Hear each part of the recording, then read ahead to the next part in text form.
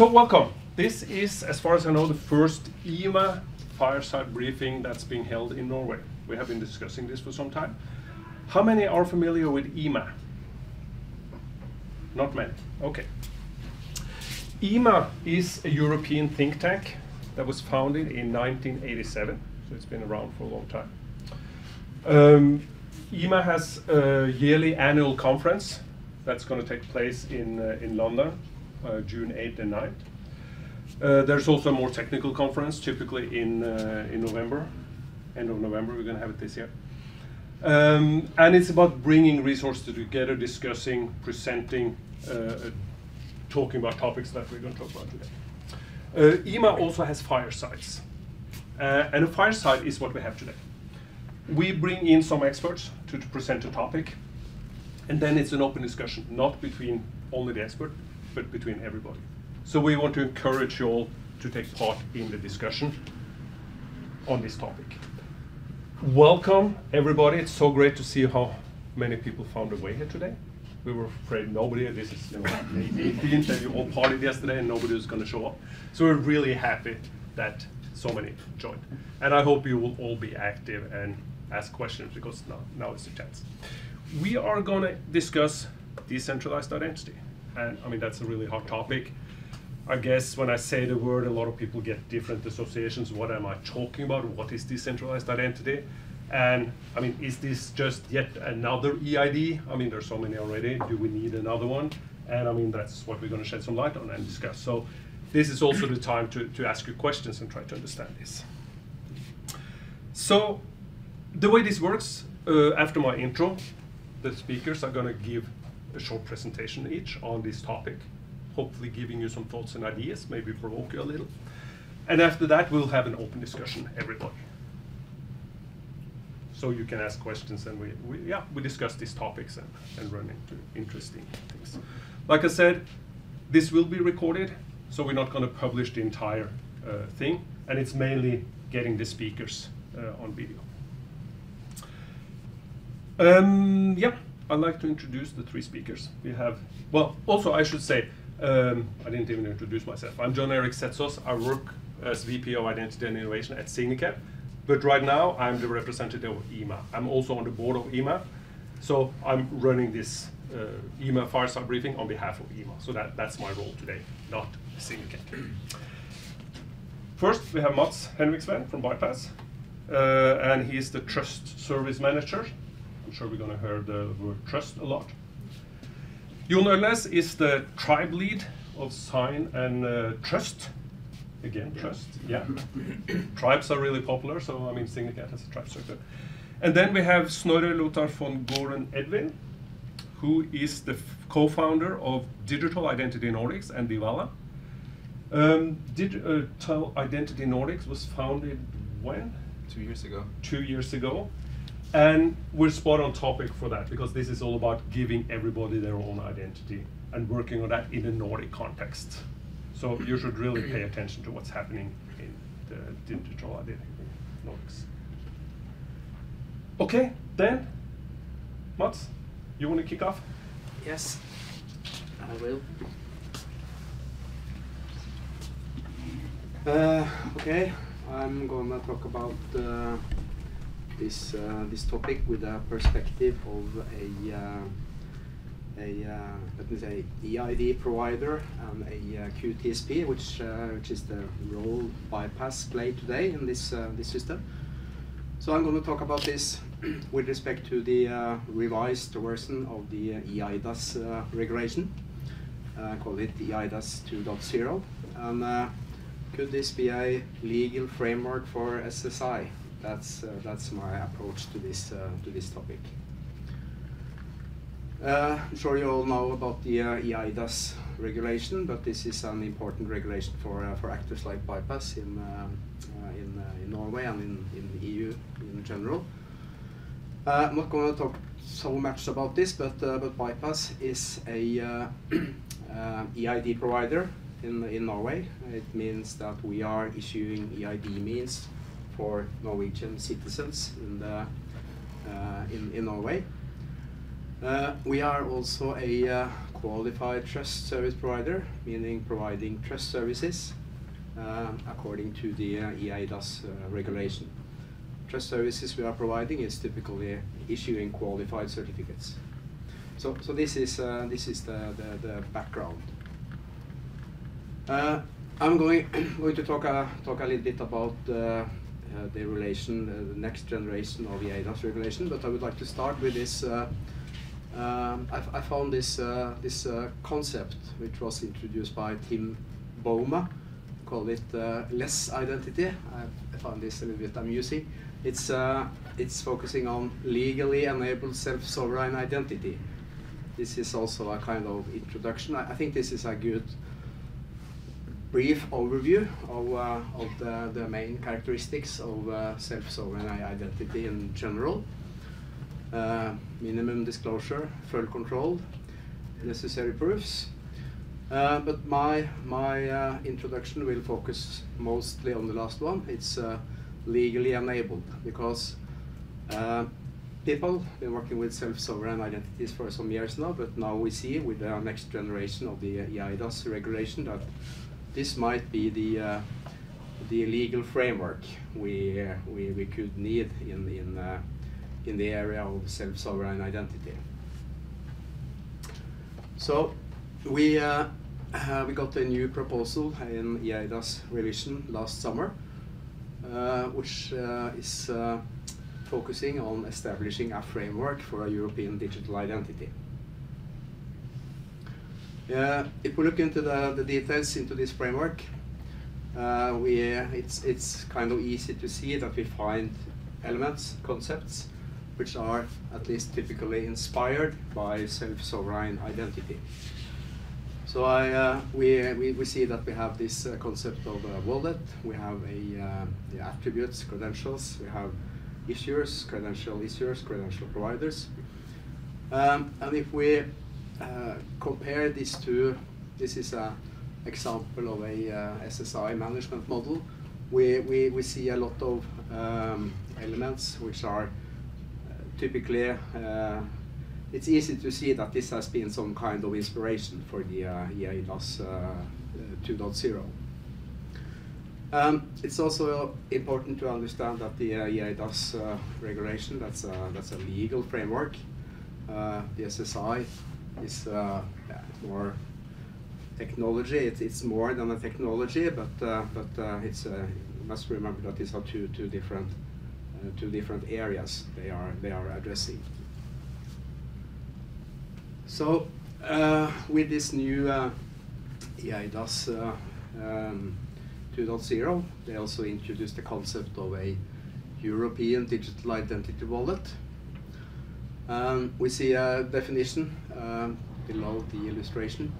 So this is about uh, allowing the user to store data, identity data, credentials, and attributes in, uh, in, in his wallet. And uh, the wallet shall be under full control of the, of the user himself. And it's up to the user to decide which attributes, which credentials are to be used for the different services uh, they are going to, to access. So this is this is also uh, very similar to, to some of the elements we see in self-sovereign identity. Uh, the, the wallet, it's uh, focusing both uh, on natural persons and legal persons, but uh, I'm going to focus most on the, on the, the natural person side. So one, uh, one question I have been asking myself, I'm, I'm not an expert, really an expert in self-sovereign identity, I know the concepts, I'm familiar with the concepts, but when we talk about uh, that the European Digital Identity Wallet shall be issued under a notified electronic identification scheme at the level of assurance high. I know what that means, uh, but it's uh, it's uh, it's a little bit more difficult to see how how could this be linked into the self-sovereign identity terms and then the words of the self-sovereign identity.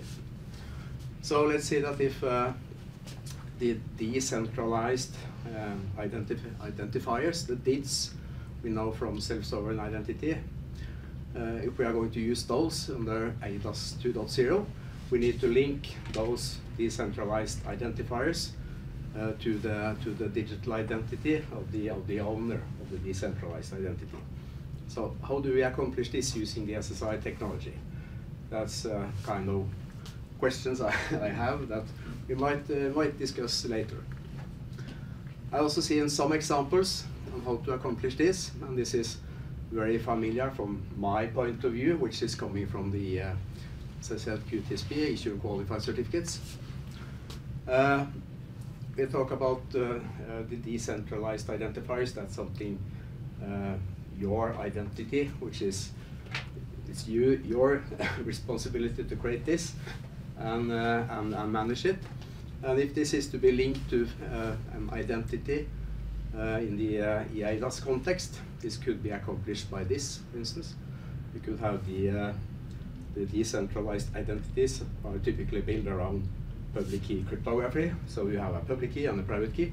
You could, for instance, use a uh, public key, which is certified in a qualified certificate, as your private key for your decentralized identifiers and respectively for the private key. But this, this might also uh, raise some issues uh, related to the uh, privacy for, for using the, uh, the identifiers as, as promised by the self-sovereign identity concept. Uh, in uh, DAS 2.0 we also have a new trust service which is called electronic attestation of attributes. Uh, this is also in a qualified variant. I talked about that Buypass is a uh, issuer of qualified certificates, and this looks very similar, at least from my point of view. Uh, we could also issue qualified electronic attestations of attributes. And this is also very, very similar to, to the verifiable credentials in, in SSI. So as you see, there are a lot of similarities between the concepts in uh, new regulation, the legal text, and the concepts in self-sovereign identity. As a part of the uh, EIDAS uh, 2.0, there is also a work going on in parallel with the legal legal processes. It's about creating a toolbox, coming up with a uh, architecture and reference framework for, for standards, how to, how to implement this uh, regulation. And this is, uh, this is work in progress.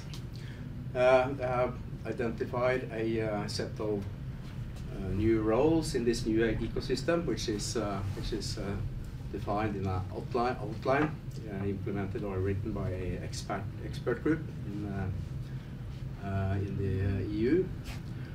but we see there are a lot of similarities, as I said, between what the, uh, the, the, concepts which is coming out from the uh, 2.0 and the concepts we know from the, uh, from the SSI. So, so uh, the question is, will EIDAS 2.0 be able to, to bridge the gap the, between these two worlds? The, the legal framework on the, on the one side and the SSI as a very interesting uh, identity concept on the other side. So uh, we, we could ask the questions in both ways. Both ways will EIDAS 2.0 be the legal framework for SSI, or could we say that will SSI be able to uh, fulfill the requirements in the EIDAS 2.0? That's also some interesting discussions to be uh, to be solved. Uh, just uh, few uh, few uh, final words on the functionality in the wallet. This is also defined in this uh, this outline. Uh, personally, I'm very focused on the cryptography or fascinated by the cryptography in this type of solutions. I've been working in this area for 20 years. I know what's going also on in the long term when it comes to cryptography. Um, as the cryptography and uh, cryptographic functions and keys are central in the EIDAS 2.0 and also in the uh, uh, self-sovereign identity. I think this there are some interesting issues that needs to be solved in this area. Just uh, listing up some uh, functionality which must be uh, must be handled in the in the uh, in the uh, digital identity wallet. But uh, just to summarize, I think cryptography is, co is core for both these these these two elements, both for the, the eIDAS regulation. Uh, we are talking about sole control, meaning that we must ensure that it's only the the, the owner of the wallet who has has control over the keys which was used for different purposes, for instance, the electronic signature. We also have requirements on the EID means, from that perspective, that uh, the, uh, the material should be uh, protected against attackers with high attack potential. It sounds quite difficult, but this is a part of the, the core requirements for the uh, cryptography in, in these type of solutions. And for SSI in general, uh, we know that the decentralized identifiers, they are also based on public key cryptography typically. Um, we also know that blockchain and distributed ledger technologies are also uh, also based on cryptographic primitives. So again, cryptography is a, is a very important part of this solution. So then questions I, I raise is who is responsible for this cryptography? Uh, key management is typically a, uh, could be an issue is, is this from based on requirements from the legal framework, uh, like eIDAS, or is it something for the wallet provider?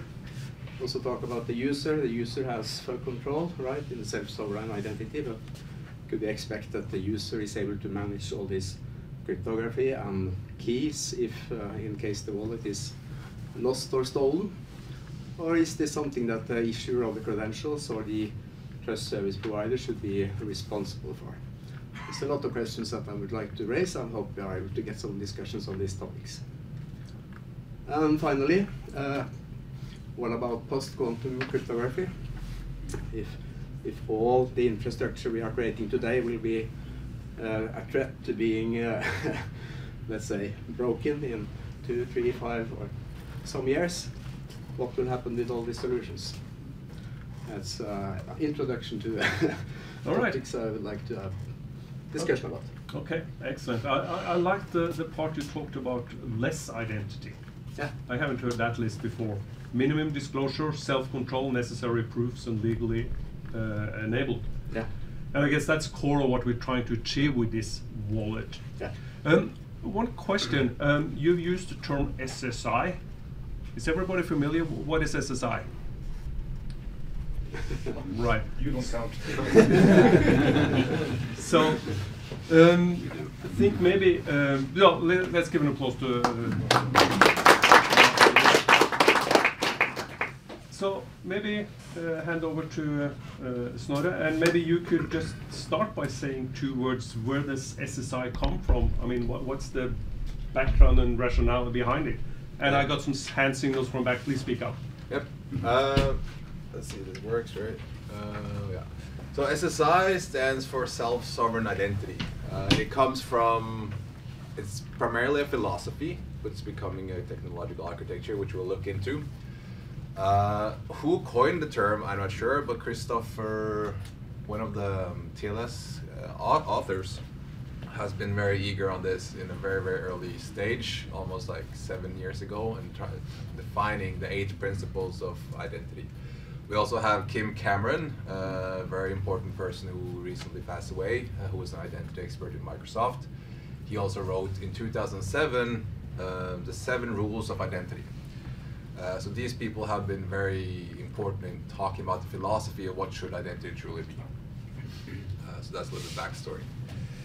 Um, again, me, um, the co-founder CTO of Diwala, we are a product company delivering identity, decentralized identity to Africa. So that's why you don't hear much about us here in Norway. Uh, but we are also, uh, we're part of DIN, which is a member organization, where we try to discuss this complex, um, complex uh, topic of, of decentralized identity and the future of identity. Now that you see that eIDAS is also coming in. Uh, I also sit and do interoperability discussions at Decentralized Identity Foundation, which is a global international standards body with a lot of American uh, companies, and I'll show you guys the list later.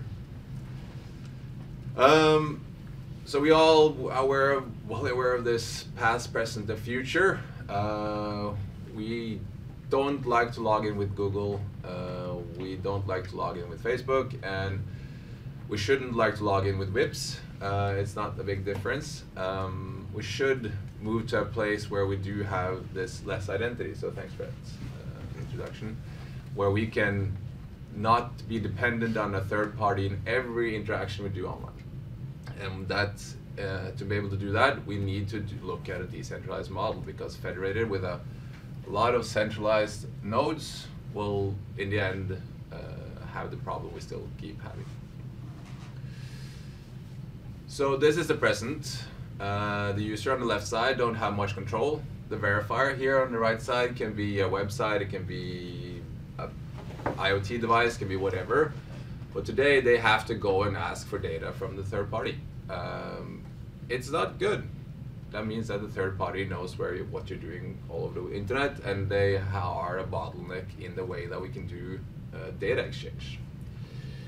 So we want to get to this state right here, where there's an issuer, and you share the data with the verifier, as you also showcase in different, less humoristic uh, slides.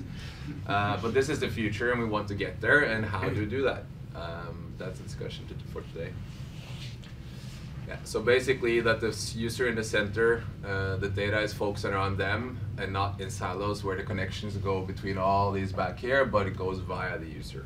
Uh, it's going to demand some thinking and some uh, core infrastructure to get in place. Uh, this is a high-level picture. Um, SSI or decentralized identity have been split into four layers. Uh, and all these blue boxes are different attempts of technology, actually GitHub repos as well, who tries to solve these different layers. Uh, this isn't none of this code or this, these boxes are related to eIDAS 2.0, but this is the international attempt. Because you have America, they're not part of eIDAS 2.0, but they still want this. National uh, DHS, Department of Homeland Security, has launched something called Silicon Valley Innovation Program, where they run um, funded program with seven companies trying to solve um, user journey of immigrating and living in USA for 10 years and everything that person has to be a part of using this technology uh, and saying that we cannot end up in a situation where we buy software and lock ourselves to that vendor. We have to buy software where we need to solve the problem.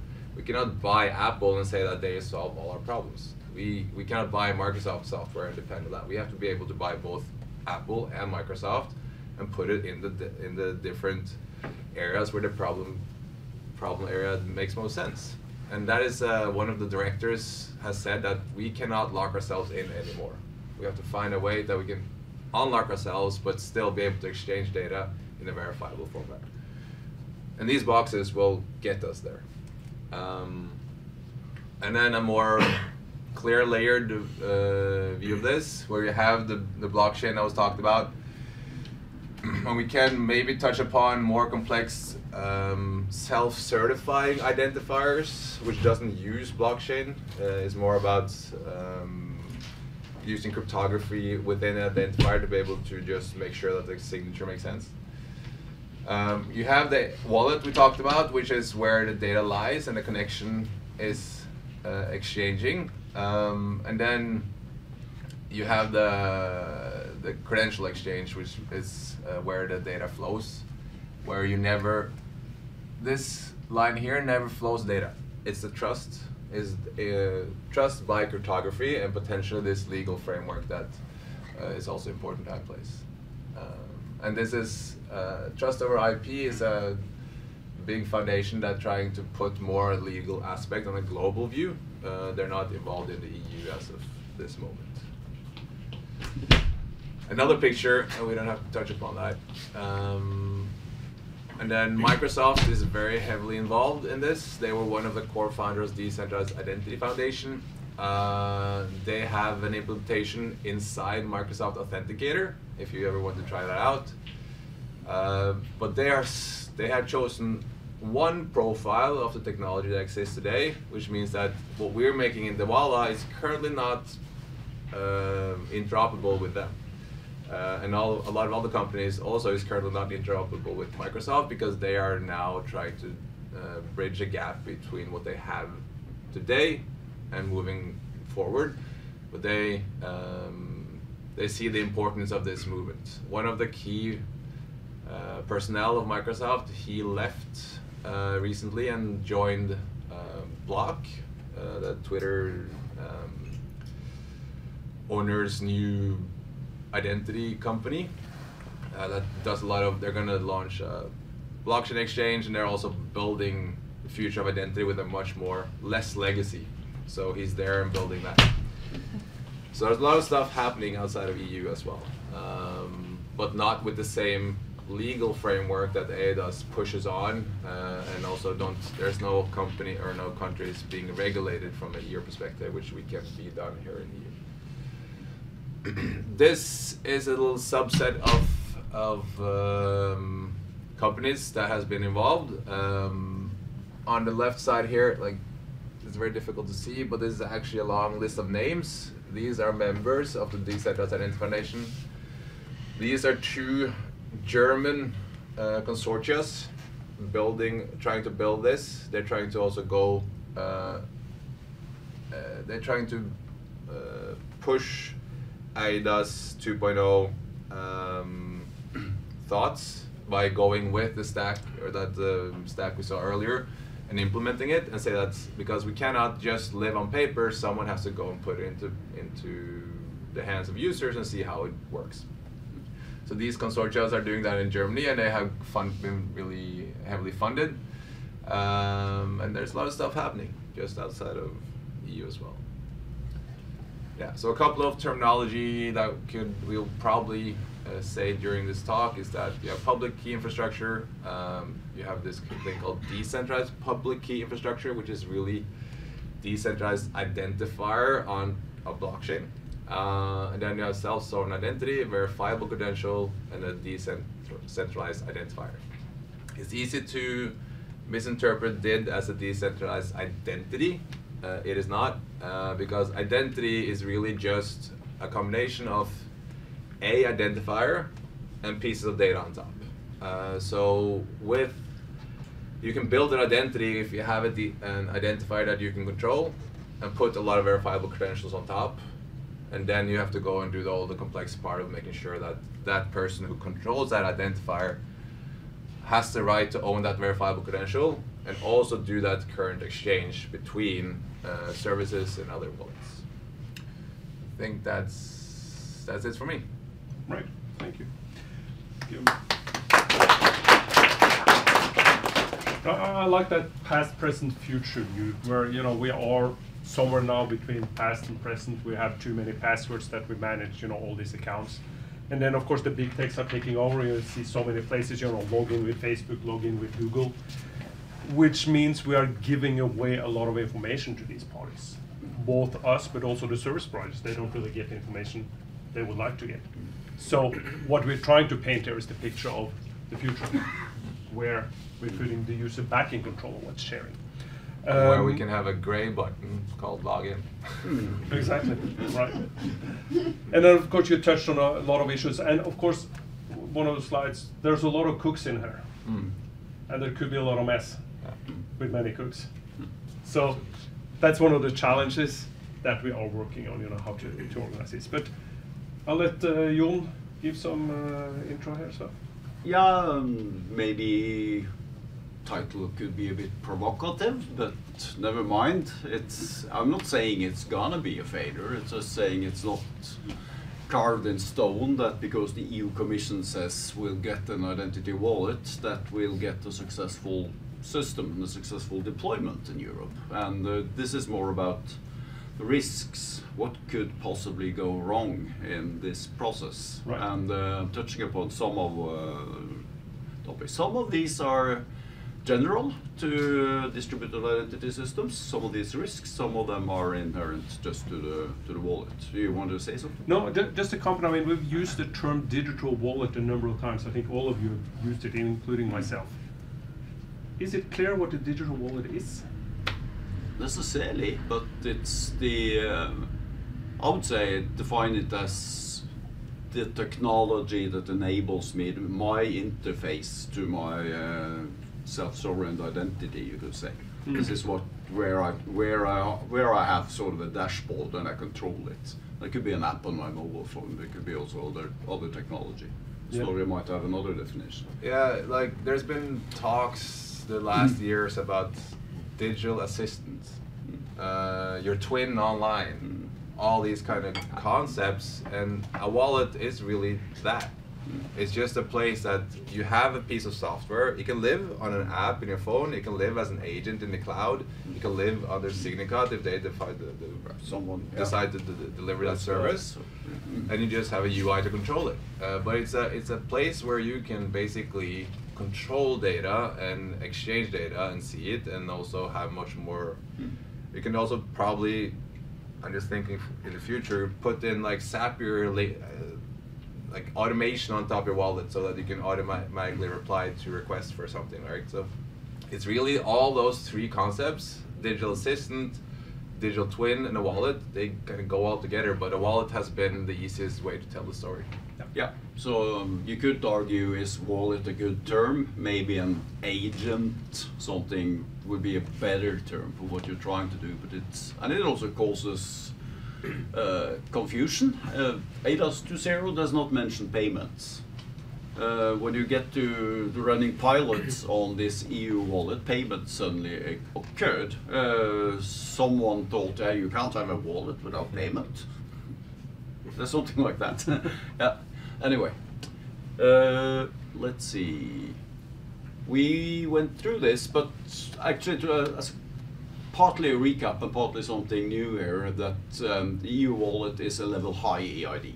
That's a starting point. So that it shall have same functionality as the Buypass ID or a bank ID to provide your real official identity in an authentication process. That's one thing it shall do uh, issued based on national identity documents procedure and uh, in addition to the official identity it shall provide you with attributes and attestation that could be in addition to your official identity linked to that identity or it could be instead of um, enabling use of qualified signatures and full user control or release of information. They call it sometimes, the EU doesn't use the term self-sovereign identity, but they sometimes call it self-sovereign identity inspired. So, yeah. Um, quite important stuff here is that um, uh, many of us still want, uh, I think unfortunately that battle is lost, but um, still arguing that this should have been a uh, qualified trust service. Meaning this could have been a commercial service offered in the internal market, and if you're approved and supervised and audited and everything in one country, you could provide it across the EU. That did not happen. What's the case now is that this is something that's issued by government on behalf of government or in the same model as we used in the EID market in, uh, in Norway and the Nordics by some private actors that are approved by government. But it limits severely uh, the, uh, the business case for the private sector in this, uh, in this setup. uh, what eIDAS has eIDAS 2.0, which is still a draft, which is why I also state this stuff about still lobbying and arguing that this could be a qualified trust service. Uh, it's not carved in stone, it's a draft and it's work in progress. And maybe it will go until uh, beginning of 2023 before we have uh, an approved version of eIDAS 2.0. And the same goes for the wallet and the work on the wallet. This is work in progress. It's something we can influence. But um, according to the current draft eIDAS, there are lots of private service providers that uh, must accept the wallet and also including uh, very large online platforms like uh, the big techs for the Digital Services Act. Um, there is a call out now for large-scale pilots, and uh, yeah, they're serious about this. Uh, is the comment because they launched the idea of a wallet, and then they made a call where the EU Commission puts 37 million euros in out for grab. And that's a 50% contribution, so it means 74 million euro is the real size of these pilots. Could be four pilots, at least four. And uh, yeah, there's a call ongoing until now, middle of August. Um, so it needs um, wallet responsible agencies as actors to supply. So Norway might actually be heading one uh, one application. Sweden has another one. There are some, but there are links between them. But this happens, right? What has been the immediate effect of this wallet initiative? Uh, enormous increase in interest in SSI distributed identity wallet-based systems. Uh, it's not just that this is an entirely new concept and nothing exists out there or only experimental stuff. Um, IRMA is a Dutch example of a working real life system operational. Uh, maybe limited in functionality, but it's quite good actually. It's a good starting point. But also, yeah, given these 37 million euros, will the EU wallet happen? Yes, it will. Uh, will it be a success? We don't know.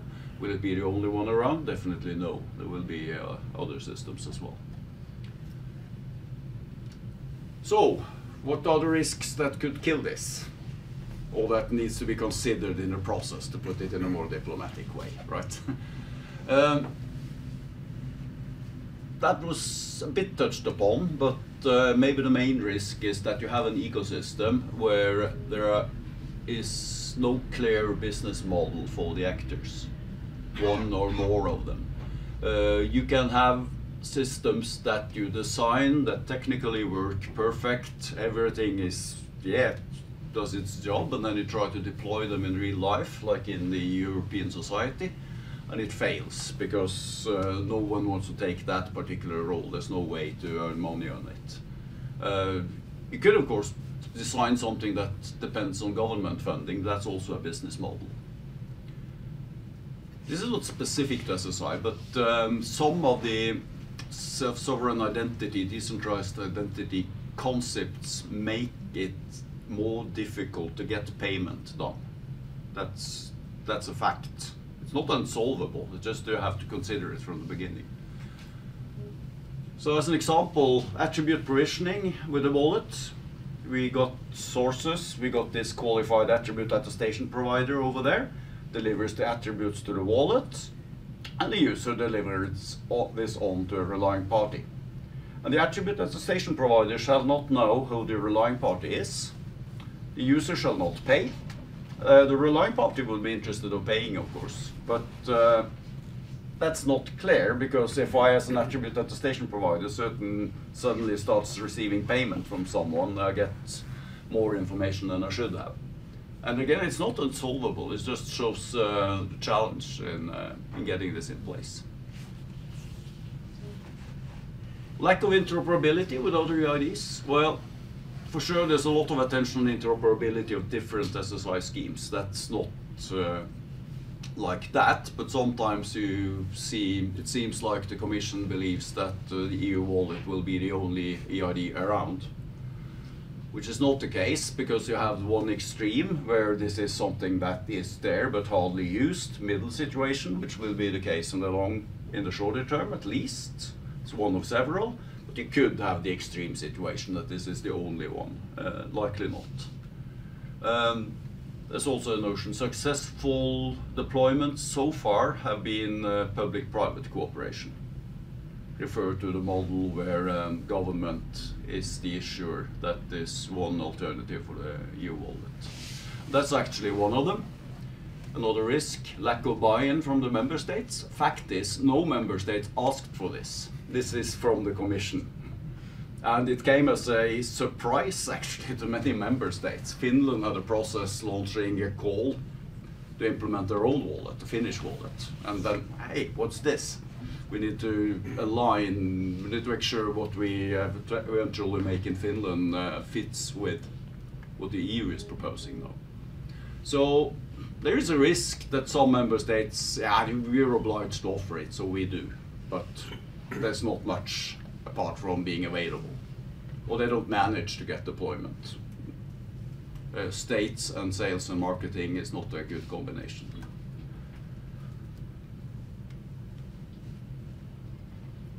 buy-in from commercial actors. This was touched upon already, since the wallet is issued the way it is. Commercial wallet issuers will have a role primarily in uh, Model C, where it's private actors issuing the wallet and they are approved by a government. But they need approval in each and every member state where they want to offer the service. It's not like you can get the point approval in one country and uh, deploy it all over Europe. Um, and also stated some commercial reliant parties are obliged to accept the wallet, but there is clear risk commercial issuers stay out of this case, may even launch competing solutions. And these commercial relying parties, ah yeah, we accept it, surely, but we don't encourage anyone to use it. We rather rely on other EID solutions. Lack of trust in society? Yeah, there's even been some uh, demos what's called in English, not demonstrations, that's something else, but you you, you march in the streets, right? Yeah. Protests. protests, yeah. We don't want this wallet. It's a threat to our privacy instead of the opposite because uh, it's controlled by the government. And there's one article out there on Orwell's wallet, which I think is, yeah. I don't know. I don't. I don't know if I'm, I'm recommending that one, but anyway, um, there is a risk, of course. Is if you manage to spur uh, opposition in society against it. Then there's another one, this we know quite well in Norway from uh, early discussions on the possibility of a government-issued EID on the national identity card. And uh, we know exactly what um, problems we faced. Uh, if this is introduced in a mature market and it's mandatory that it's going to be available also for commercial sector, and it's not only for government, it means that uh, it goes into a competition. This is a new solution besides Buypass and bank ID, for example, it's a competing solution. So uh, rules on fair competition and government subsidies come into play definitely. So this could make it difficult. I don't think they've given this sufficient thought, actually. Complexity, technological immaturity. Um, sort of touched upon it in the previous one. There are different initiatives, many of them. And although interoperability is being um, targeted, uh, it's clear that there's some kind of standardization effort needed. Will this work? I think one year after revised eIDAS, this is supposed to be in place. That could mean early 2024. That's too optimistic. Uh, but of course, there is a risk that it's too complex to work at all. So what's the problem? Is there a lack of standards or too many of them? Maybe both. Um, at EU level, only these official uh, standards bodies are formally recognized. They're the only one to deliver European norms, if you want it that way. But on the other hand, there are lots of different organizations providing specifications, but uh, we try to count, and there might be like six to seven different ways of mediating attributes to a wallet according to one or other, call them standards or at least open specifications And if you have a wallet, you need to narrow it down. You cannot provide six to seven different ways. Maybe you can accommodate two, three. Something needs to be done. So this pretty immature still in this area. Uh, what they will do is to make a reference implementation. It could be another kind of a risk. Um, Q3 this year, after summer, there will be a call. It's planned a call at least to uh, for someone to do a reference implementation. And some rumors are, some arguments are that this will be uh, a mandatory component for the pilots and maybe even for wallet deployment. So this means uh, if this happens, uh, you might say you could short circuit the entire um, standardization process. You will just, for that call, select some options and that will be what is used, which is not a good process, but uh, it's of course takes less time than doing the standardization properly. That's it.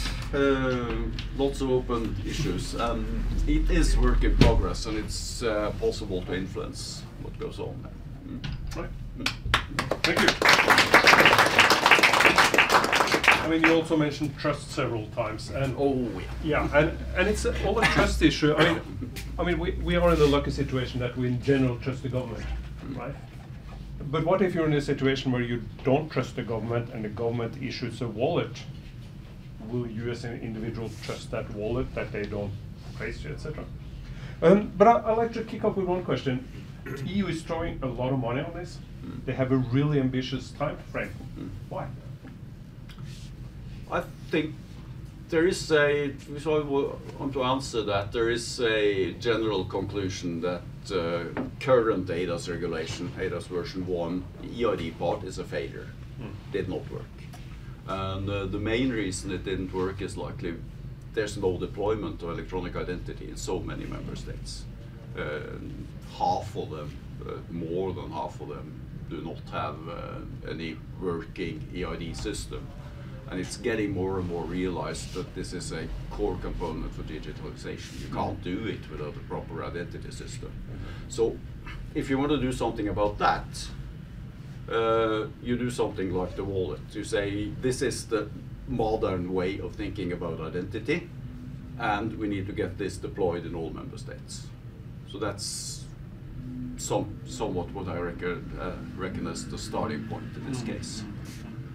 Any comments on why EU is in such a hurry on this? I, I support that the, the version one has been a failure and Yeah. hasn't seen the deployments. I think there's someone there that wants to get something new working, and then there has been a very long drive for SSI, and they were able to pick that up and understand it. So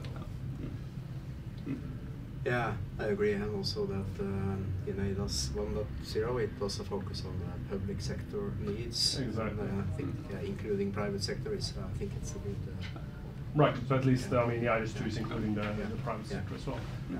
And would part of it also be the fear that the big techs will take this wallet space? Yeah. That's almost openly stated. So it's part of it. Yeah. The Digital Services Act and the Digital Platform. Yeah, sure. yeah. Right. Those two acts are more important, but it's part of the same. Yeah. Right. you we- see, you see already Apple is um, has been purchased by Wyoming or not Wyoming, a couple of states in the U.S. Yeah. and they're doing the MDL, uh, Exactly. mobile driver's license spec, which is another data model spec really. Uh, Mm. So which is another standard that is trying to then get its foothold to do this exchange of data in a, a straight line instead. Yeah. I think in what nine different states in the US now you can add your driver license to the Apple Wallet. MasterCard runs identity programs in Africa. Exactly. national ID cards. Right. Mm. Okay. So what's happening in your brains now? Is this all confusion? Does anything make sense? What questions do you have? Yes, please.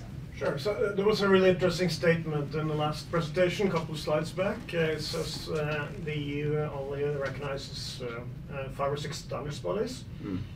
And there was a really missing one there, uh, which is probably the most important one, is IETF, the Internet Engineering Task Force. They're not- not Mm. recognized by EU, right? Um, and the big discussion in the US uh, is Web3, uh, which obviously Internet Engineering Task Force will have a word about.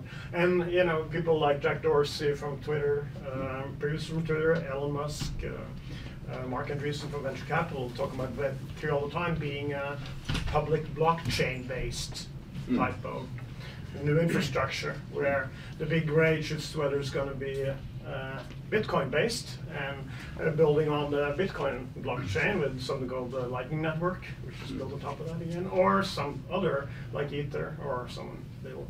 But I think you know it's looks like it's going that way. Uh, that uh, the Web three will have will be some sort of public blockchain based, uh, and you're getting right into decentralized identities. Um, you already have a wallet there that's working, that's robust, uh, and you can store money, so you can probably store identities. So I think you know. It, I, I can't really see this. I, I remember from voice IP days, uh, ITU tried to define the voice IP standard called H323, and they were completely trumped by uh, IETF with the SIP standard. Um, and I see something very similar happening here. I can't really see how EU is going to be able to do this without the support of IETF and whatever's going on with uh, Web3, where you actually have a public, uh, it's not commercial, it's a public blockchain or public uh, from, from this or that angle. So, do you have any comments to that? Do you agree? What, what do you think? Yep. Um, partly, one way to get around it is by indirectly using standards from IETF or, uh, or other such bodies, and that's been done by ETSI and CEN, European standards bodies, making basing, Yeah. making such references uh, uh, mandatory in, in standards. That's a way of getting around it. But um, not recognizing IETF is a bit weird. Uh, I tend to agree with you uh, on that topic. Basing on blockchain uh, or distributed ledger, um, it's likely something is going to happen here. But I mentioned several ways of exchanging attributes. Some of them are based on blockchains, others are not. So it's not a mandatory component. And this architectural reference framework uh, that Mads uh, referred to is still quite open. It doesn't mention ledger. It can be used. Then it's pretty clear that if it is to be based on a ledger technology, it's likely not the cryptocurrency ledgers. Uh, there is a clear risk uh, exemplified if um, Bitcoin collapses, the Bitcoin blockchain will disappear. So it's a it's a clear risk. You can't really do that. But there is uh, a European blockchain services infrastructure trying to build um, a more neutral uh, way of structuring that, and that's clear. That's a promising initiative actually, using the same technology. So it's a matter of um, using blockchain or some distributed ledger technology without relying too much on the on the cryptocurrencies. But, I mean, you need, you need an SLA, you need somebody responsible when there are problems, etc. So you can, you know, that's why you can. Yeah, you can, but there is you can Yeah, you can build it on Ether, for example, but there Right. there is a risk there. Yeah. Clear, mm, clearly. Mm. Well, that reminds me when uh, Digital Equipment once said, you know, if the internet goes down, how, how do you, uh, who support you call? So it's a bit similar. A, a public blockchain cannot disappear, right? It's in the public domain. It, the value of Bitcoin can go to zero, but Yeah, the but um, blockchain what happens to the. Bitcoin blockchain if the value of Bitcoin goes to zero and there's no initiative for those keeping the nodes up? Um, If, if it's the basis of Web three and uh, they won't disappear, right? It's- yeah, if they have all, if they have other it- sources, other sources of income, to put it that way, because the actors Sure. need an income to to get the blockchain going. Is, uh, is IOTA one of those more neutral? That could be one of them. Yeah. Mm. So you, you, just to kind of Mm. highlight a couple of blockchain initiatives, you have Mm. Sovrin, which is again a self blockchain just for identity. You have cheqd. Uh, and also you have Microsoft's attempt, which did set layer two level on top of Bitcoin, which is called Sidetree, uh, to, to avoid all that transaction problem. But again, if if the Bitcoin price goes down, then there is, as I say, no incentive to keep the trust up. Then what is going to, of course, the government can take over the network because the data and the chains are there, and then just start running it. But I don't think we will have one Bitcoin to rule them all, or not Bitcoin, blockchain. Uh, so we have to figure out the DID spec ad- abstracts the blockchain pers- uh, uh, view of it. It says I can take whatever as long as you understand the DID spec, as long as you know how to resolve this DID, then you can use whatever blockchain you want. So the blockchain is in this in the decentralized identity space is actually just one piece of puzzle. It was layer four, the the anchor, but it's not where the data goes. It's primarily just where your your decentralized public key infrastructure goes. Um, so yeah, it's a it's a very fine balance to figure out how to utilize that without overutilizing it and exposing too much data on the blockchain. Yeah. Yeah, I think it's also easy to, or it's uh, important to, to remember that this uh, legal framework, it's uh, it's a kind of the uh, the way that the EU Commission wants to be able to, to manage all these initiatives which is going around all, all over the world, Mhm. right? So uh, so uh, it's uh, it's not easy right now to see uh, how this will be implemented in Europe. But of course, if it's possible to use some of the technology, some of the standards, uh, I guess that uh, there will be a chosen, but not necessarily one one standard or one specification for for a, for, for, a, for a problem. Mm. Uh, So I- hopefully layered, as you say, Yeah, Sondre. yeah, That's, yeah. it's not, it's not like everything depends on everything, but that you can change components, so. Yeah. Mm, mm. And, and internet works today. Everyone has seen the hourglass model where it all intersects on IP. Mm.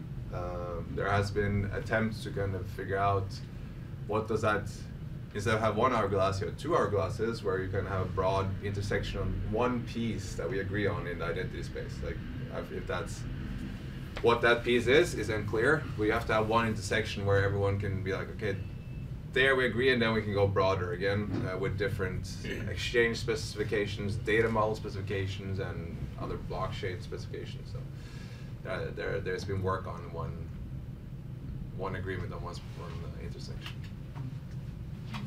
yeah. Okay. There's Yeah, one on the uh, back there. Right. It's a question for Snorre primarily, but also I would like to hear the other opinions. So if I understood correctly, you are focusing on Africa, right? So what makes it easier to go to Africa and what makes it more complicated to tackle the EU or the Western world?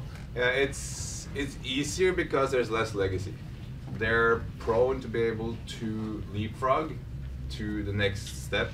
Uh, they don't like in EU we have done, or at least Norway, we have done 15 years of technology that is intertwined into society. And how do you just switch that out? Cannot. You have to bridge. In Africa, you don't have that technology intertwined. A lot of European countries also don't have all that good technology, so they can leapfrog faster. But specifically in Africa, you can move even, even faster, uh, because it's decentralized identity is not dependent primarily on uh, on one database. Uh, it depends on what trust framework you set up.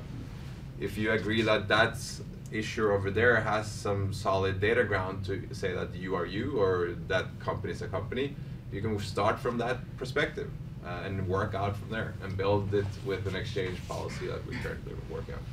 So it's a little bit more freedom. Um, uh, the only, that, but that can be a problem in the case that they don't demand too much. Coming in uh, Norway and EU, they demand okay specifications, follow these uh, cryptographic laws and everything, and there they just want solutions that work better. So, Uh, And we have a functional system, so why change it, right? Yeah. And that's, so- that's sort of the problem in a novice. I think. Yes. Uh, Yes, uh, Svein Lunde from Nets Auto Trust Services. Yeah. Uh, If we are here in five, six, eight years, and this have actually been a huge success, what has then been the key success factors? Is it tech? Is it commercial terms, adopting private sector? Is it legal? Is it user experience? What is the key success factors? all of them. Yeah. Yeah. But if you select one, that's what you're challenging, right? What- Yeah, What's the top yeah, on but the? because I, I sense uh, some uh, you question that this actually will be a success, and Mm. we, for good reasons. I, I'm uh, I'm not um, uh, questioning that, uh, but uh, if it will be a success, what, what do we need to, to or what we, uh, does EU need to succeed with? go first or? Yeah, I, I, I I think maybe the intersection between legal and technology. Because you need the legal framework, at least in Europe, you need the, the legal framework that's stating this is the way to do it. And then you need um, uh, technology that's appealing to the users and that works as intended, so the users will pick it up. And that this is then again pushed uh, as the way of doing it. I think that's that's the way because uh, there's this at the bottom here. There is also this fight against the big tech, right? Those actors that try to gather as much information about you as possible and profile you and sell sell your uh, personality to uh, commercial actors, and uh, that's that's one of one of those things at the bottom that you want to fight uh, with this, in, this these initiatives. I think Mads wants to disagree. Yeah, I, uh, That's like you okay. That's okay. yeah, I, I- think that we uh, more or less have the um, have the legal requirements, at least as a proposal. And as you, you more or less also have the technology, it's, it's a lot of lot of technology to, to pick from, I think, uh, Mm. in, in this area. But I, I- I think also it's it's um, needs some kind of maturity, both for both for the users uh, and at least for service providers in order to, to get this uh, uh, success, we need to have a lot of services which users are interested in using the wallet to access, right? So, so, uh, so that's I think I think that's might be uh, the, the main challenge to to to uh, to challenge all the service providers out there. What is in this for you? What, how, how can you how can you use this uh, excellent infrastructure or ecosystem if if we are able to realize it? I think that's the that's the key question. You want to disagree too? No, I, I, I would say that I always like the power of stories. So if we're able to get some successful stories out there that proves that moving in a straight line of data exchange gives us value, gives us possibilities for uh, faster innovation, gives us a lot of new possibilities, creating smaller trust communities instead of having this one global big thing then we will be able to kind of move even faster. And I think we're starting to see those stories, but they're not populating the, the common common communication yet. Uh, it's it's very like up in here because it happens in a small closed community. Not closed, it's very open community, but you can't go and participate in all communities that there is. So I think more more storytelling basically of those successful uh, attempts that has been actually implemented is really really. Yeah. I think I think there's one piece of uh, legal work missing though, um, yet at least, and that's the control of the relying parties, those receiving the information. But there's there's no nothing there yet that will keep someone from asking me for all my information. yeah, right. And if I get something in return, many users may or might be uh, vulnerable to actually giving away much too, far too much information. So that's exactly. that's also part of it. So the balance that the user is really in control, and uh, the service providers don't get more than they um, they're not allowed to ask for more than they need. Mm. which is a complex one and all. And and you know, I, I agree with all you're saying. I, I would also again highlight the user buying. I mean, you Mm. mentioned trust already. Unless you get user buying on trust, well, it's going to fall apart. And also, I mean, there was a report released in Norway earlier this year that said only about 50% of people were comfortable setting up two-factor authentication.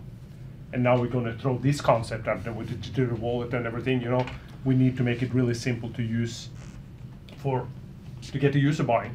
So I mean, it's difficult to point out one. I mean, all of these aspects needs to, to be in place. And it's not sufficient. It's not a, sufficient on its own No. because you still have your device. If you use a mobile device as your link towards the digital world, and uh, through that mobile device, all your information will pass. Exactly. more or less. So if that mobile device uh, or the apps on that device uh, are not trustworthy. So there was a this another report by uh, Forbrukerrådet in Norway about how apps leak information Oh, yeah. to different uh, sources. That will Interesting. also be part That's of the another one. game, trying to stop that kind of behavior in addition to the control of your own personal information. I think that Okay, we have. Uh, let's move on. That's another question. Yeah, that's actually uh, builds up on, on top of what I'm uh, asking, uh, Jon. Um, privacy, Mm. like decentralized identity, wallets, and especially ledger technology, and like privacy and the right to be forgotten. Any comments uh, for that? It's very high focused. Mm. Uh, it's important to remember that this is not being solved by putting data on the blockchain. Mm. Uh, you're trying to avoid putting everything, any PII or personal identifiable information on the blockchain. Uh, and also, as you said in your list, uh, uh, selective disclosure. Uh, it's going to be a difficult UX challenge to kind of get people to accept it, but that is all about that one story that hey, I go to a bar and I to be accepted in or to be able to buy a beer, you scan a QR code and it just says above 18. It doesn't say your name, your whole birth or date, your in US you even got where you're born, the state issued and everything. It doesn't give that information to the guy who's just gonna sell you a beer. Uh, it just says above 18 and it's a way to trust it because the cryptography and the data model and everything just works. So it, for me, it's super strange that now we have a driver's license app. I cannot use it to say I'm above 18 at the Vinmonopolet. Why not? Um, so how far have we really gotten? Yeah. Yeah. Uh, Ove Wolf from uh, the ISA. Uh, As you point out, uh, Jon, uh, there's a lot of obstacles for this EU initiative, obstacles that it has to get past uh, to be uh, successful. So my question is kind of to, to all the other uh, panelists as well as you uh, about how optimistic are you that this project will succeed? And if it fails, what will happen instead? What do you think is the likely scenario then? Should we start with the last one? What's the dark scenario? No, I, I don't think it's necessarily a dark scenario. I think uh, one of my first slides said that what has what has been the immediate effect here? It's the focus on this type of technology and this type of thinking, more this type of thinking more than technology actually. That this is the way forward in identity. I think that will happen even if uh, the EU wallet initiative specifically fails. The same thing will happen, but you will see other actors coming up with uh, other types of solutions, maybe the same functionality, maybe something different. So I'm not that worried. I think um five to eight years from now, as someone asked, um, we we're sitting here. I think we'll uh, we we'll be looking back and say that this is the starting point. This is where when it starts really getting uh, getting and accepted and uh, a mainstream way of thinking. I think that will continue. I think the dark scenario is just add five to ten years on top of the timeline. Mhm. So it's Yeah. it's com- it's coming. Uh, Mhm. It just depend on and and government regulations can push things forward faster. Mm. Uh, but if that project fails, then it just takes a little longer. Mm. Yeah, I, I agree. I, I'm, I'm kind of optimistic in a way uh, because I think uh, I think the technology, uh, the concepts uh, is is there, Mm. and I think it's uh, Mm. very big eager in the EU Commission in the EU, EU area to, to, to solve this, and uh, and in fact we, we have there has been done some good work already in, in this area Yep. since 2016 and up to now we have at least a lot of trust services which is uh, actually working quite well uh, Mm. from my understanding. Now they are trying to do the same uh, in the EID area. I think it's a good approach. Uh, and uh, I, yeah, I'm, I'm, I'm a little bit optimistic. And of course, every time there's news about a new data leak, yet another data leak, well, that's another Yeah, incentive yeah, to yeah, continue yeah, to work yeah, on this. yeah. But to, to add to that question about privacy, to me it's you have to think a bit bigger than mainly privacy uh, in this case. Identity is more a societal thing. It's, it's psychology. It's all kinds of aspects on all information out there that can be linked back to me. And privacy is just a legal term. So it's more narrow. It's uh, your right to protect your own information. But uh, you have to think about just the legal concept of privacy to um, to get the this the concept uh, running. on it. But then of course it all needs to be cost efficient and secure uh, with all the mechanisms and all systems. Yeah, I, I would like just to add that uh, I think uh, Snorre mentioned all about this. Uh, this uh, we, we have the technology; it's possible to solve it, but uh, but we might uh, we, we need to design uh, design privacy into the solutions, right? Mm. So we have the legal requirements, and in order to take the technology and implement it in a correct way, we need to design these features into the into the into the solution. Then I've, my biggest worry is still the, the issue of the business models. Yeah. Because if we want to implement it in real life, there must be real actors Getting taking real money. liability, getting getting paid for what they're Exactly. doing actually, for running the systems, for taking liability, and uh, for providing information. And we, we, we can just comment on the business model that we see today. There's this ad hoc business model happening in, in Africa specifically, where uh, issuing party issues a piece of paper, signs it with normal signatures, and goes by via other places to sign it, the piece of paper. goes to the holder, the owner of the piece of paper. That goes to the verifier, and what happens is that the verifier never trusts a piece of paper, of course. Uh, they take that and pays ten dollars to get a copy of that piece of paper from the issuer uh, to be able to say, ah, they look the same, uh, and then they can move on with, with that person. Uh, so there, we are looking upon as as a software company trying to split that model with the issuers. So every time, the, because the, the, the the paying force here is on the verifiers. They want to ma- make sure that they actually trust what they're seeing. Um, they are paying uh, how much is for bank ID now? A kroner per login or something? More, More. more. Okay. Mhm. and if you can make that into a a split scenario where the verifier is the ones that pays, and they can go to the back to the issuing party uh, in the end. As you also mentioned a little bit about, but as you say, it's going to be difficult to see where the money Mm. comes. But it's it's something we're exploring in Africa because we see that that model is clearly in place. As you can understand, we are Identity Nerds, we enjoy discussing these topics and we do talk a lot about it and a lot of challenges, so. So, Yes. uh, Erik Martin Storkelsen, Rema. Mhm. So I have a bit of a different view and we'll pull it more into payment. Mhm. Because as you might know, uh, Norway is actually leading the pack Mhm. when it comes to digital wallets and payments. Uh, we're also quite far ahead when it comes to PSD2, uh, open banking, that kind of scenarios. Uh, also with our domestic schemes, with international schemes, stuff like that. Uh, however, PSD3 is also a kind of a failed EU regulation, uh, which we're supposed to give. Everyone should have open uh, access to all interfaces with all banks, Mm.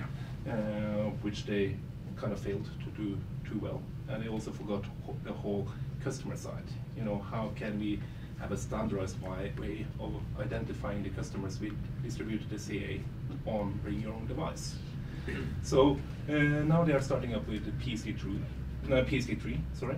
Uh, is there any way that you see that eIDAS, together with PC3, uh, PC3, can solve the kind of scenarios where you can have a bring your own device scenario in the shop, in an offline scenario, and do authentication for a payment? Mm. Uh, if have you ever used MetaMask like to, done a crypto or cryptocurrency exchange? Uh, because then basically what that is I, is that I, I- should add with the existing payment. yeah, yeah, but it's, it's, it's just you gotta take it back to first principles. Yeah. And what it is, it's just getting uh, truth, like a, basically a signature from the person who is in the controller of that amount of money, Mm. and say that can pass it on to a system, and that thing can go through the systems and be processed where the where it needs to be processed. Um, and I've been thinking about that. If you have a wallet and you have a cryptographical set of keys, you can always provide that signature, and we can actually go back to digital, fast, efficient checks, because that is what really payment is. is it's checks and balances. So, if I can deliver a quick signature of a certain payment and send it on, and it cannot be compromised, it cannot be changed because if it's changed, the signature is compromised, and that can flow through the system of payment, we you, you're able to do payment. Uh, and now with all Mastercard's attempts as providing um, uh, cards at tokens, like you have those virtual cards, Mhm. they're really just tokens. What are they really? They're just JWT tokens in the end because they're cryptographically verifiable and can flow through the system. So I think it's very feasible. Uh, it's just um, it's possible. Very difficult to do everything at once. Uh, but once you have that infrastructure of a person has cryptographical keys and data can flow, I think payment is just the next step. But I think, yeah, combining stuff from the eIDAS legislation into what they do in payments is surely feasible. I think they recognize they did a mistake in the first run. Like PSD2 strong customer authentication is something defined on the side of eIDAS, which is clearly wrong because you already have an identity concept and assurance levels of identity. So why define uh, a completely new concept just for payments? And if, if you look at Mhm. Straksbetaling, it's really blockchain Mm. because they, it's a network of nodes from all the device different uh, Mm. banks that has come together to exchange data, and that's blockchain. It's nodes communicating with together, keeping the truth up to sync. Yes. Yeah. You had another question? Sure. Um, yeah, so a problem with the digital wallets is pretty well known. They have long keys, uh, right? And they're hard to remember. So, uh, so people lose them. and then if you lose your key to your identity wallet, you kind of lose your identity, I guess. um, so, and in order to solve that, sometimes you have hosting providers that host your wallet, or but then you gotta get access to that your wallet from some other ID, whether it's two-factor or whatnot. So, but that's got to be a different ID to log on to get to. You might end up with Google or Facebook or Microsoft logins to get to your Mhm. wallet, right? It's a pretty difficult problem, I think. Uh, do you have any? Is there any any sort of good solution for this? Uh, like, uh, what do you do if, if when people lose their keys uh, for for an identity wallet? You guys go first. I'm also optimist. nice. Yeah, I, I think this is uh, one of the main challenges as I already introduced in my Yeah. presentation. And uh, of course, when it comes to uh, also to the uh, eIDAS uh, requirements, there are quite strict requirements when it comes to protecting private keys. Might also be an issue with you mentioned uh, bring your own device, uh, but what type of device are you bringing? Uh, we also know that it's uh, pretty sure that this uh, this uh, EU digital identity wallets there will be some requirements on the certification for those.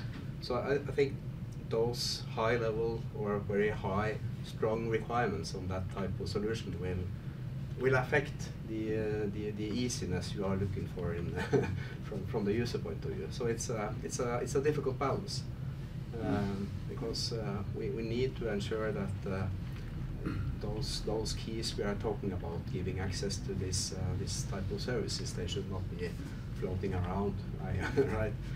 But but uh, I'm quite sure they will be uh, come up with uh, solutions uh, on this but uh, even they might be difficult right now. Yeah, in the, in the EU wallet proposal, there is this concept of a wallet provider, which is a service provider. And we don't really know neither, getting back to the business model again, but also the functionality needs to be provided.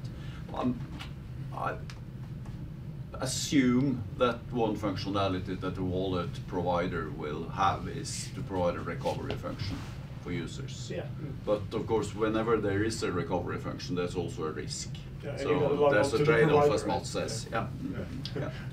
Mm. Uh, one user journey uh, I always talk about in this context is the Shamir secret sharing, uh, where you're basically able to split up the keys, put it into Mm. different devi- uh, trusted entities, and I lose my device, I get a new device, I download the the, um, uh, the wallet again, and I basically go and say, hey, I I kept my one part in Facebook, one part in Twitter, and another part in my bank, and then there's a there's a there's a way of not logging in without that high level of assurance which the wallet can give.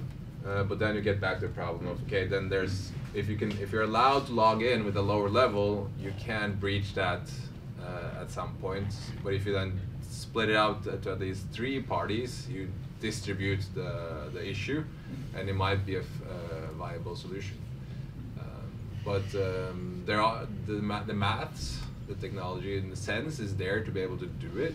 Uh, and then it's just about how do we experience it as users. I mean, that, that's one, I mean, account recovery is definitely one of those user things that users expect. Mhm. Same as, you know, it doesn't work, who do I call? Yeah. Right? I mean, We have some statistics saying that twenty percent of all Bitcoin are lost. yeah, because users can't get access. And some guy had a landfill dug up to find an old PC Yeah. disk, whatever it was. Exactly. So, no, it's a very important question. Yes, anybody? Well, myself, I react from the concept of uh, decentralized when you present it. It's like uh, it could be anywhere, you know, and uh, I can understand users get completely freaked out. Um, I, I compare this to the passport history, you know. Started with passport, you managed to have a organization, you managed to standardize the passport all over. You even managed to make a European passport for those who are in Europe, because we talk about Europe. And okay, at the end of the day, uh, this is uh, fixed by the police, you know, by the government. And here I feel what is very challenging is that on one side you want not to depend anymore on the governmental most trusted you know, uh, provider. And in the same time, you have the, the barrier of freedom uh, requirements against biometrics, against, you know, all these kind of uh, uh, firewall which are pushing out many uh, technologies. So it looks like a quite difficult challenge. I mean, this is what I understand, not being a full expert. Uh, I want to start with Almost this. I want to start. With, uh, this is not anarchy. We're not going to drop the government. We're not going to drop the, the police. Uh, they are an important trust entity actor in this ecosystem. With this type of um, of infrastructure in place, you can build more trust communities, more smaller trust actors. You don't have to rely on that one piece of puzzle, which is called the police, which is the reason we have to stand in line for a passport. Like, let's say that you could have a trust community around a simple music festival. They don't need to rely on the police to to be able to build a trust in the, a week's thing. Like, if you get if you get that infra- infrastructure where things can be decentralized, you can everyone can start to put a layer of where do we put our trust, and then you can always look back to the police or the, the passport, say, okay, if you want really really high trust or you want that piece of trust, we can always go to the passport. Uh, but It's like bank ID is relying on the passport. Hmm. yeah, so the, the trust starts at somewhere, which Yeah. is which is my which is my biggest question. Like, where does it begin? Um, but it's uh, I think that we have begun here in Norway, and if we allow this to just trickle out and, and work in different sets of communities, I think we will have a lot of interesting trust frameworks in place. Because for a concert, okay, but when it's a question of who you are and your rights, uh, who you are and your money, that's but not least, then it's another story. Sorry. Yeah, It's I- I, I think this is uh, this is the main challenge of introducing this new type of ecosystem to establish those communities, because those communities they need to understand what what is uh, what is the proposal here, and, Mm. and try to work to, to find Mm. Find ways they could uh, could use this uh, new type of uh, infrastructure. Mm. I think that's a very good uh, good example. I think that's also maybe because I, I don't know. I don't know if the term wallet is a good one from a technical point of view, but from a user point of view, maybe that's the understandable one. Mm. Getting a user to understand decentralized. What's my decentralized identity? No, just forget about it. Mm. That's that's a concept that doesn't fly. But for the EU system, it's, it is anchored uh, the official national identity. From national identity documents, that's where you start uh, when you issue an EU wallet. That's the that's the whole Mm. idea. So you start from your official national identity. It's still national. Mm. And if you have multiple nationalities, we don't know yet if you will need one more wallet per nationality. If you can use it um, Yeah, different, obviously, uh, but then I, I can imagine they dream about a common European identity for No. every No, citizen, no. no? Doesn't exist any common European identity, only national identities. Yeah, in but they dream of a layer over that. There over is, um, national yeah. identity, which could be something like we Uh. have all in Europe. No, And No. instead of interconnecting. No, um, uh, interconnecting is, is what they but dream then of. we are still at intercon, like very well with Yeah. Signicat and so Yeah. on. Uh, uh, then you are still interconnecting the Yes. IDs national.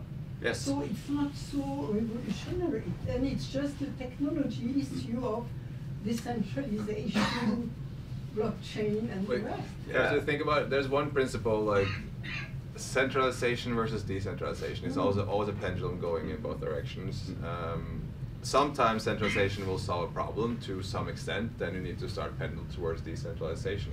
So there's a lot of main principles here that has to kind of come into place to really understand why what this is trying to do. Um, because we can always say that hey, let's put everyone under one database and say you, that's the glo- your global identity. Uh, but that is too centralized and it's not going to work in innovation. It's going to break a lot of uh, different things that we have uh, that's easy to do when we have more flexibility and more interconnectedness rather than one centralized party that solves everything. Uh, and that, that interconnectedness is difficult to get in place. It's, got, it's put in place through standards, through collaboration, uh, through experimentation. Uh, there's also that's also a reason why Signicat in Diwala, uh, I can't remember the others, have delivered a, a research application on particularly this, like how do we interoperate? How can six wallets live together in this ecosystem? Mm. Uh, so yeah. But um, this concept of national identity is different from country to country, Mm. as we know. Yeah. And uh, how to link them is not easy. Uh, but there's, there's no EU identity, and there's no idea of bringing about any EU identity. But there is an idea in eIDAS on uh, making a system where it's possible to link an identity. So if I have a Swedish identity and a Norwegian identity, uh, Sweden and Norway can know it's the same person. And in this case, it could be quite simple, right? Because I have national identifiers in both countries. If you go to other countries in Europe, there is no concept of a national identifier, not as the single number like the Norwegian number that uniquely identifies you. Uh, so eIDAS 2.0 actually has a proposal to introduce such a number for cross-border traffic. Uh, I don't think it's going to get, go through, but um, the concept is there in the, in the first eIDAS proposal, eIDAS 2.0 proposal. There's a set of attributes that for cross-border purposes, these attributes identify you, and one of the attributes is a unique identifier, persistent unique identifier within your country.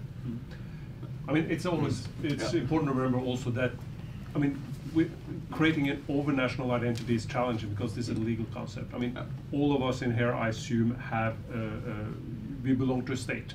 Mm. We have a nationality. There are very few stateless people, well, there are stateless, but, And some have two, right? right, and some Some have two, more than some one. more. And it's not only about nationality, it also No. has to be, it's a residency Yeah. and it's also rights and obligations. If you have a, the right to, if you, an obligation could be you own a property in a country, you need to pay taxes there, uh, or a right, you work there once, so you get certain pension rights. Right. So, So, I mean, it- like, you've been there before, but uh, not anymore. Right. So there are different, different ways of getting an identity in the state. Yes, Mhm. but ultimately the state is the one that can Yeah. define on a legal Yeah. basis that I'm really John Erik Setsaas and not somebody Yeah. else. And, you know, we're not changing that with building, and that's what the EU says as well, building on top of that.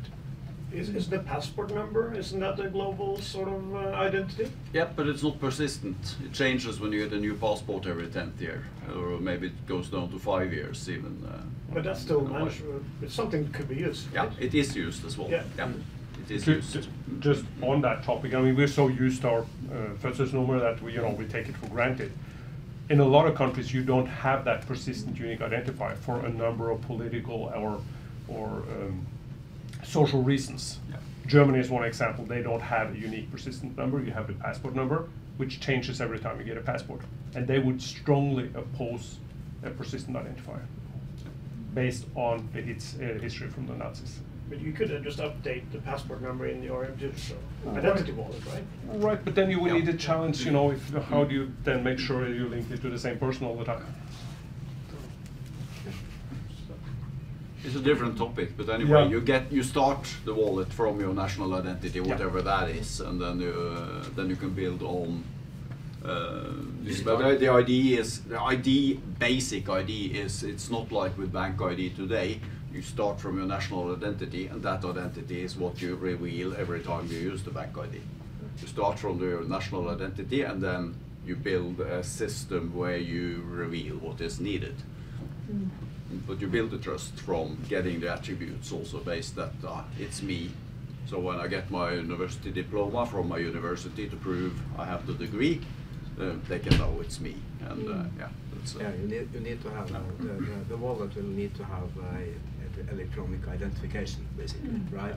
And this must be based on the national identity. Yeah. Mm.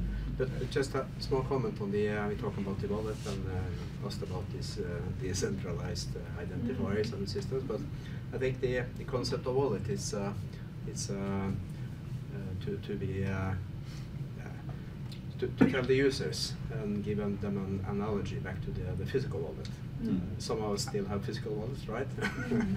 we, we can pick up the different credentials like a Mm. driving license, uh, some uh, membership cards, etc. I think I think that's that's important to have in mind when we Mm. talk about what is the digital identity wallet. You have some core identity Mm. solution, but all the credentials we talk about, which is to be distributed and not known by anyone else or anybody else besides you, uh, which Mm. is uh, the owner, should have the full control of all these credentials. I think that's the way we should Yeah. consider the, the wallet Mm. concept. Yeah, Exactly. and I think it's really important to just tell a story that I, how I want this to work is basically you download the wallet. When you have the wallet, open it, you get a set of keys.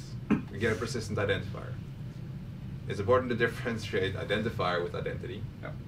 But you can you don't have to log in to anything to get the wallet. You have the wallet, and then okay, right now you're nobody. You're just an identifier which you can reset and get a new set of keys uh, and reset again.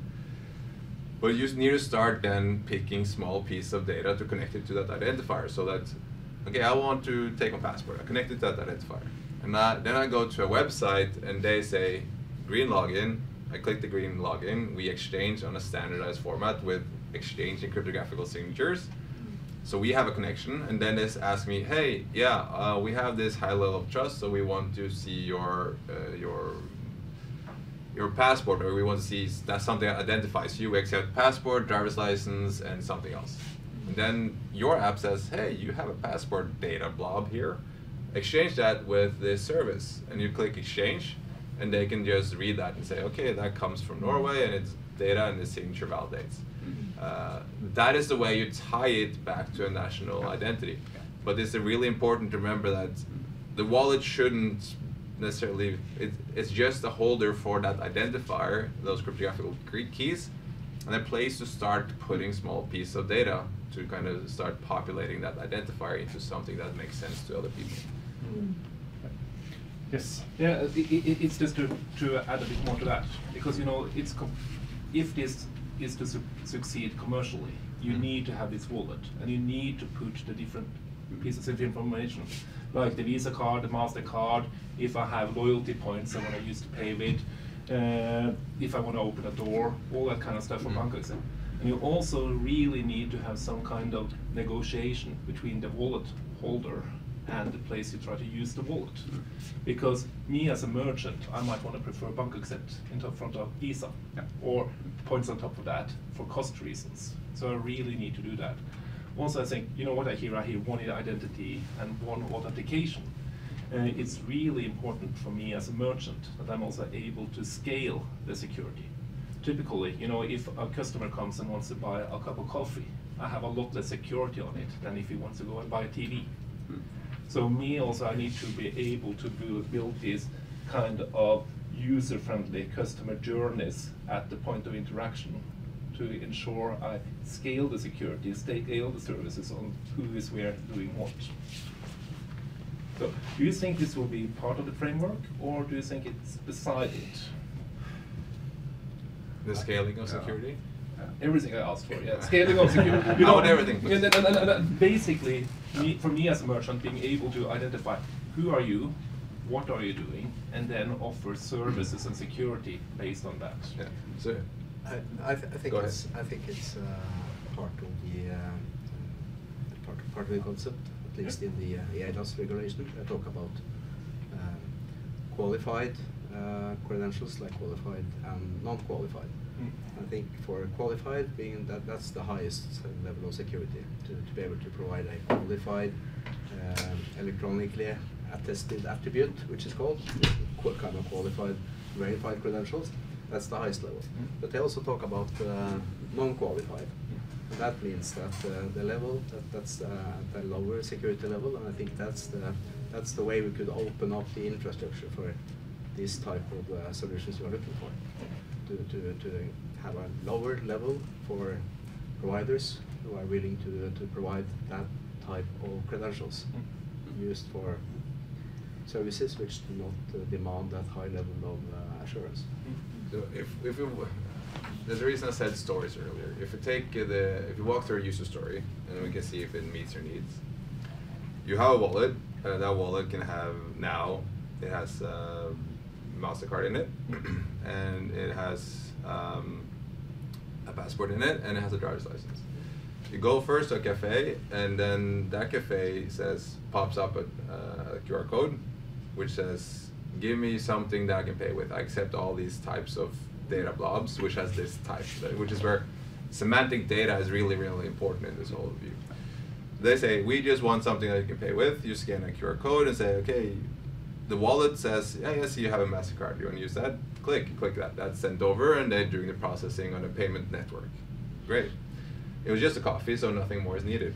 Um, you go onwards, you take the TV, you go and try to buy that, and then they say, okay, we need a payment thing, and you kind of scan it, and then, uh, or then there's another scanning that says, hey, we need to identify you because there's something important here. So, you, oh yeah, by the way, we also need your passport. You just tap the passport through, please, and then exchange. You're le- a higher level up, and then it can be. Um, to send your passport, you have to basically take your thumb and open the, the trusted uh, ecosystem inside the phone. So you do the two fa- two factor authentication on top of that, and then you can get an email say, "Hey, you just use your passport." You kind of have all that logging, the audit trails, and you've done that like level up for identification when you did try to purchase something more important. Uh, that way, like when the, the TV seller, he can basically initiate a payment with level two identification because that is needed right now. So you just do that as seamlessly exchange with one scan of QR code or NFC, which is just the transport of the data. But the receiver uh, then knows that the person that holds and controls this wallet is the person that identifies themselves with the passport. You don't need to do uh, physical biometric verification in any way because it's all connected with uh, cryptography. So there's a lot of cool new interactions we can get uh, doing this. Uh, also, even with with uh, with buying a car, you can exchange your your address and everything so that it's just automatically pre-populates everything into the system, and it's just a simple tap of a phone. Yeah, and maybe with the passport you don't need your first number, your unique identifier, No. but it needs to show your name and uh, that you have an official Yeah. passport from Norway. Uh, maybe you don't need all information, that's also part of the game, right? Yeah. So you exchange only certain attributes. So it's just about being able to take a piece of data that you expected and then verify that it comes from the person who is actually allowed to hold it, who did receive it, and then say that, oh, this comes from a signature that, let's call it just a simple list. It's the passport authority. Perfect, I trust it. Or the sys- software will tell you that I trust it. And then it's all about all the UX and how we kind of abstract it for the simple clerk, clerksman, or make it more complex for the people sitting in the back office trying to make sure everything is correct. So, Yes. yeah. Um, I have a question regarding like these attributes in. You have attributes that can be signed by qualified signature and onboarded to your wallet. For instance, your driver license could be such an attribute. Mm. And you onboard it to your wallet, uh, and you can onboard like a lot of attributes. It could be passports or your MasterCard, like in your example. But then you actually are centralizing your attributes. Mm. into your wallet. Uh, I know it's some discussion about like having only references to where those attributes are stored. Mm. Uh, can you say a little bit about that? I haven't heard about these references, but what is being worked on in Decentralized Identity Foundation is called secure data storage, where basically everything you um, you collect, you put and encrypt it, a little piece of metadata around it, so that you, you your you can give access to some service to authorize to read the right data. Uh, but at some point, it's it's your data, so you put it in your little box. Uh, but if you want to be more cautious of kind of spreading that data around, then that's up to you, or up to you choose the right wallet provider that offers that option. Uh, or you go set it up yourself and you tell the wallet provider, here's the storage thing I want to use. Um, but um, yeah, did I answer? Can touch upon that? Um, in a way, for the EU wallet, I think there there is a concept of um, two ways you could do it. Either if you want such an attestation, like a driving license, uh, you could store it and provide it, or you could fetch it when you need it. Uh, the advantage of the other second model is that the revocation is implicit. Yeah. If your driving license is um, is revoked, you don't get it. But if it's stored in your wallet and you provide it, uh, the receiver might accept something that should have been revoked. Actually, Revoking more- revoking attestations is a is a hard one. And you don't want to revoke the entire wallet, right? You want to revoke, to revoke certain attributes, or certain attestations that are in there. And at Yeah. the same time, you don't want to tell the issuer of the driver's license who is taking it. Exactly. So Because that's, that's that's the privacy issue. That's Yeah. also where you can start using blockchain again, Exactly. putting a revocation Yeah. list Yeah. on a blockchain Yeah. that people can. It's just input, uh, not really output. Uh, so that's basically when you get this attribute, or I usually like to use the word verifiable credential, just to make it a little more difficult. Uh, they're all the same, uh, but it, you get this data blob, and then it says the verifier software is, is going to going through a list and then checking that rev- revocation list. Hopefully, that doesn't point to a source that's collecting uh, data about the user because that check is comes from let's say eBay checks this list based on user X, and then you can start profiling around that Mm. that that thing. So if it if it goes to a blockchain, which you cannot profile on, just read is anonymous. No one can read that you have read something from a blockchain. Um, then you can start having this uh, privacy preserving revocation list. Yeah. So this is easier. This is actually one thing that's easier with the blockchain technology than with uh, other technologies. Yeah. In this case. Yeah. It sounds like uh, we're talking about wallets, we're talking about blockchains. Uh, and there's a really good point about tying this up to Bitcoin value, which can be dangerous. Uh, but it sounds like it would make sense to potentially connect this to a digital euro and on the same uh, blockchain, right? Because that would simplify a lot of these issues. Wouldn't it? Uh, is there any work on that? Uh, digital euro? Is it? Are you aware? And are they talking about interconnecting the two on a on a same blockchain, or you know anything about that? Uh, digital currency and digital currency by central banks certainly. yeah, I mean, Uh, yeah, think most digital- central- I think digital mo- euro mo- I think a blockchain mo- owned by an yeah, European most bank. central banks are working on that. I don't know exactly the status of the work, and I don't know uh, the connection to um, European blockchain initiative or to what goes on with eIDAS. So there's that, no that I sort of don't know. That I don't know. No. eIDAS 2 draft does not mention payments, but it occurs again for the um, for the pilots. So I suppose there will be some work on that. Sounds like it would make sense to put it Yeah. on the same I- blockchain. yeah, yeah, yeah, yeah. And I mean, there is an There is initiative a- to set up a European-wide blockchain with each country responsible for their separate nodes. Yeah, And yeah, that will um, give you a, uh, might not even we- might not be countries because Right. uh, the proposal is also that uh, Ledger is provider is a qualified trust service provider. So this Right, right. means it could be a commercial actor and it could be something that's set up and valid across Right. Europe. So But at least then you will get uh, so it's an internal for it. market thing. Yeah. Yeah, it's important, as you said, that the, uh, the, the distributed ledger as a service is now a trust service, Yeah. right?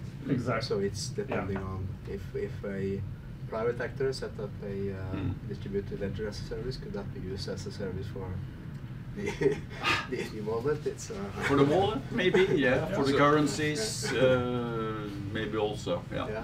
So we, we You come, any comments, Snorre? yeah, we come to the principle of centralization, everything on one thing versus moving Yeah. towards decentralization and building something that allows you to bridge between. Yeah. Like it, I've been a lot in the in it, the DeFi space where you have maybe ten blockchains and you can bridge your Mm. coins Mm. between everything.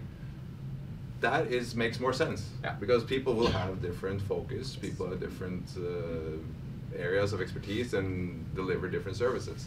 So the the pana- panacea of everything into one, I don't think. Is not necessary. No.